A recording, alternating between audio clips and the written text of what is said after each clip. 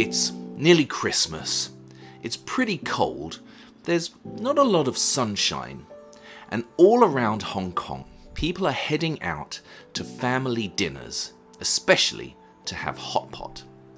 But why is this happening? The answer has got something to do with the sun.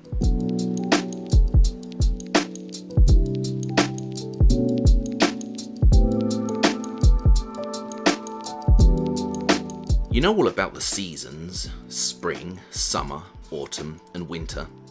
And you know that different things happen in those different seasons.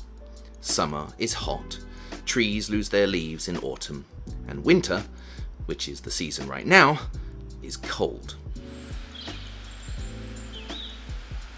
The different seasons are caused by the sun and the way that Earth spins around the sun. So the Earth goes around the Sun in a giant circle, and the time it takes to get all the way around once is called one year.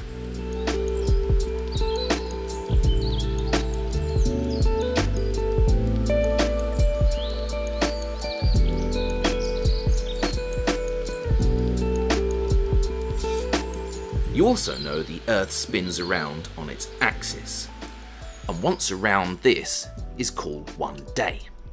Now, if you imagine that my fingers at the top and the bottom of the earth here are connected by a line, this line is called the axis, and the time it takes to do one turn is one day. The thing is, the Earth's axis is not dead straight to the sun like this. It's actually at an angle. This means that Hong Kong is a little bit closer to the sun for half the year and a little bit further away for the other half as the Earth spins around the sun. You can easily see that there is less sunshine during the winter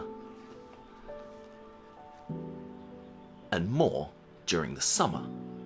The day when we are absolutely the furthest away from the sun is called the winter solstice. It is the shortest day of the year and it normally happens around the 21st of December. So, what does that mean for people in Hong Kong? Well, it means being on a bus with a load of heavy bags and going to see the family. Or at least that's what it means for my family.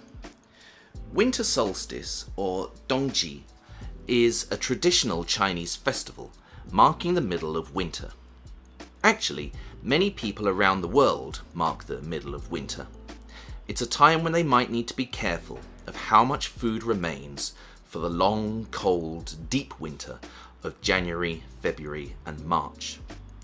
But it's also a time to celebrate that winter is half finished and every day will get longer and have more sunshine as summer approaches.